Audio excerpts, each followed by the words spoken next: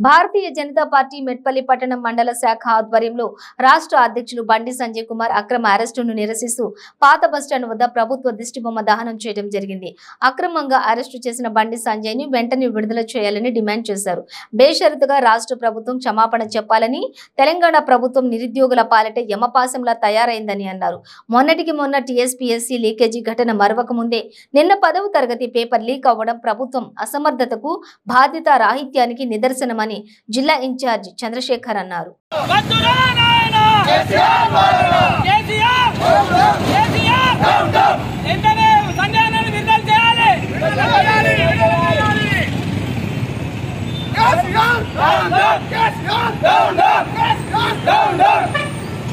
భారత్ మాతా జై! భారత్ మాతా జై జై జై మాతా భారత్ మాతా